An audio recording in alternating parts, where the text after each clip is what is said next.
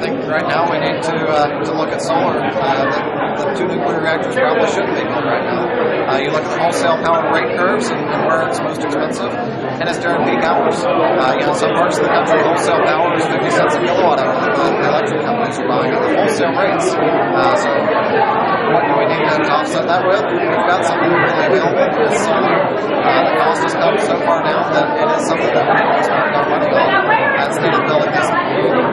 Exactly.